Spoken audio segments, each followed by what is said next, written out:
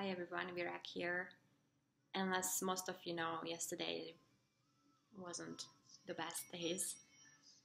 We lost someone who I didn't know so well, but I did spend the day with him in Los Angeles last summer, and I just fell in love with what he projected as a person, as a father, as a as a husband.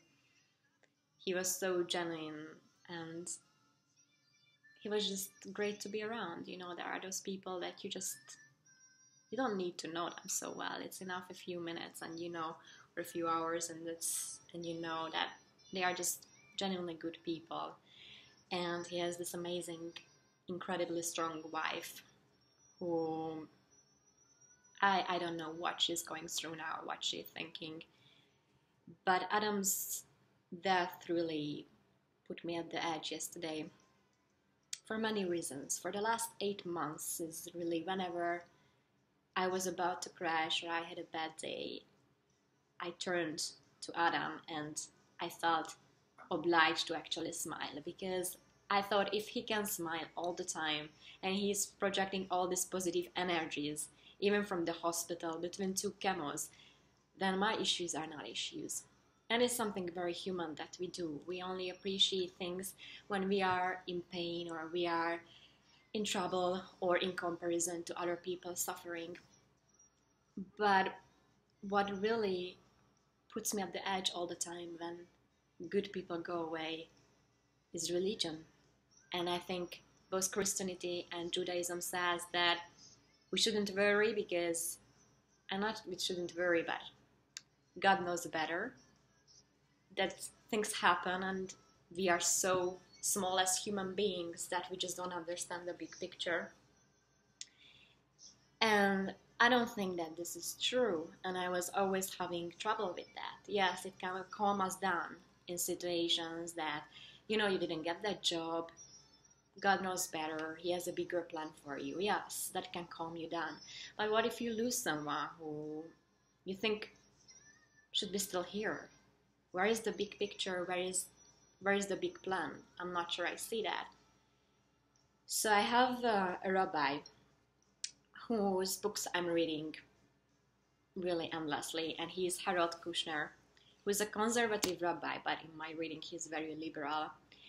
And he is the first one who gave me a god picture a god image and a concept of religion and god that i can actually accept and this post might you know not resemble with everybody but it might help others who struggle with you know imagining god as the old person old father sitting up in the skies looking at us down and deciding who is good who is bad who should live who should die.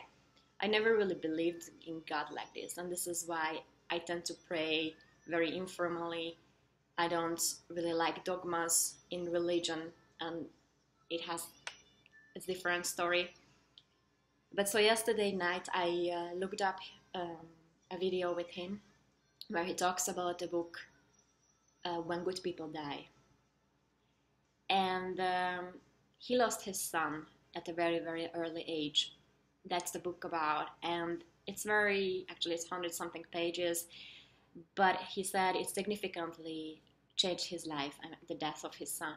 He was a rabbi, but he questioned if he can continue to be a rabbi because what all the community kept on telling him that you know God knows better, it, God has a bigger picture, and he just couldn't uh, put with it anymore. And um, the other thing is that he felt guilty because if he really goes with the mainstream God picture that God decides who deserves to live and who not, and he says, "What did I do?" or like he felt guilty about something that he must have done that God took away his kid. And the God picture that he eventually found for himself, and he is referring to the Torah at some point that he was reading it over and over again, and then he got um, enlightened in, in some section, and that's what actually made him write the book. Is that God is not someone who tells you, okay, you die and you leave.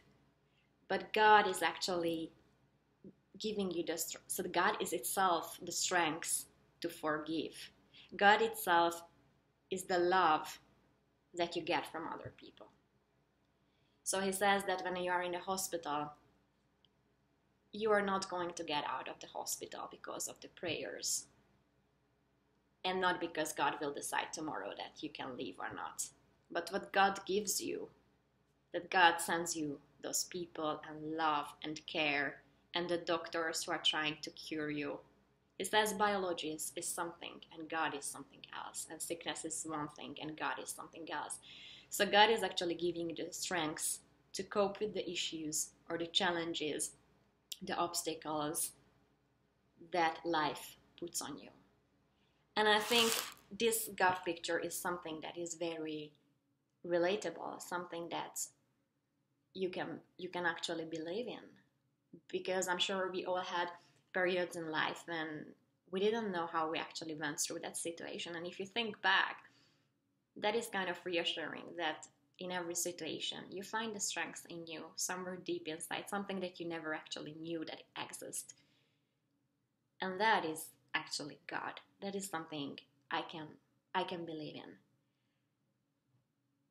So that gave me uh, strength and helped me to actually accept that good people also go.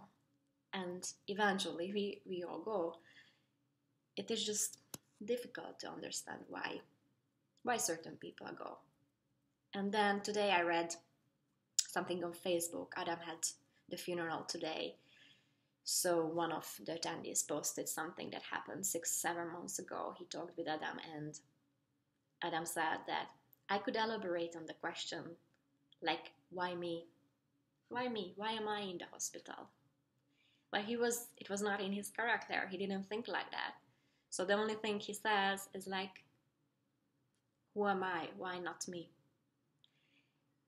And if he was able to think like that, again, who am I to crash down and question why he had to go? I just from afar wish strength to the family, to his wife, to his kids, and to the whole community that he actually built up during the last eight months. And for those of you who didn't uh, follow his journey, you need to know that he made an extremely extremely powerful campaign online to find a match, but not only for him. He actually raised money that those matches that they find can can be actually used to save other lives. So altogether, he saved 11 lives, and eventually he got his match also. And unfortunately, his body um, rejected it. And as a closing part, I think if we don't believe in God or in, and you can name it however, I was never really attached that we can only name it God. It can you can name it the universe, energy, but I think God is not something that um, should have a negative connotation, which is often is the case when you are talking with not religious people. But if you don't believe in some kind of higher power, especially in hard times, and even if that higher power is actually within us, then what else is left? What else can give us hope? What else can give us faith? And that is that is religion about for me to have a faith in something, have a faith that we're gonna go through every challenges that or every challenge that we face in life.